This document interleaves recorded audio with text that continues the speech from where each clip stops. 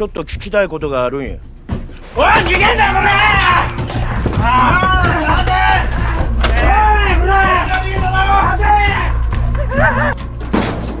南恭平やな。ですけどウィニーを使って違法アップロードおよび違法でファイルをダウンロードしていたな。いや。おはようございます。京都府警ハイテク犯罪対策室です。何です令状出てますウィニーの開発は早すぎたのでしょうか？